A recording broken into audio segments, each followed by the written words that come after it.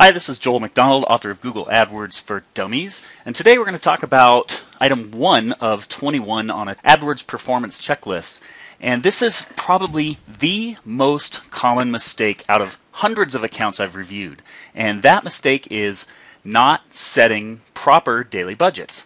So have you ever looked at an account and seen a big ugly message like this that says limited by budget? If so, you or the person managing your account is probably making a very costly mistake.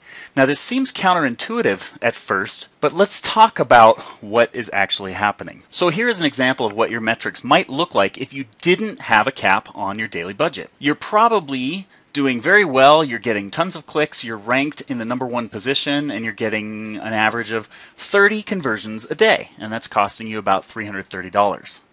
However, the most common problem I see is that big red message that says daily budgets are limited.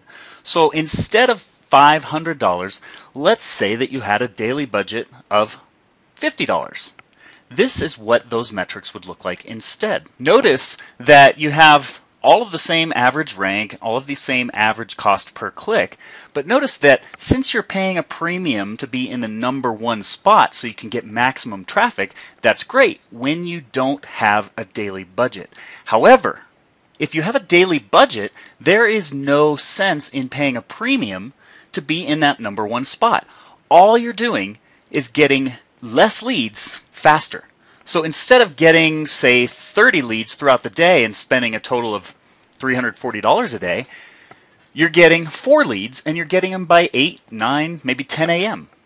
And then it shuts down. If you have a daily budget of $50, you don't want to pay a premium to get as much traffic as possible because you're only willing to spend $50.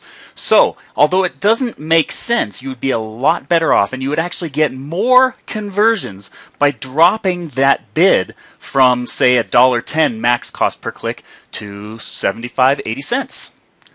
Then you're going to save money. You're going to get traffic throughout the day. And instead of spending a dollar six and depleting your budget by 9 or 10 in the morning, you can spend 70 cents per click and get twice as many conversions throughout the day. So, again, the moral of the story is if you are getting this big ugly message that says limited by budget, you're doing one of two things. You're either spending way too much money for too little leads, or you're not spending enough money and you could get more traffic. So, the solution is very, very easy. If you're comfortable with the volume of leads that you're getting and what you're spending per lead, then simply raise that budget. If you're not comfortable with what you're spending, well, then you need to focus on other things. And until you can figure out how to get more conversions out of every visitor, you want to lower the bids of all of the keywords in the campaigns that has that big ugly message that says limited by budget. So there you have it. Two simple solutions that either way will get you more sales either for the same money or for more, more money, you can get more sales for yourself. Thanks for watching. If you'd like some other tips on how to cut budgets and make sure you're getting the most out of your AdWords account, feel free to visit my website at 2020ppc.com.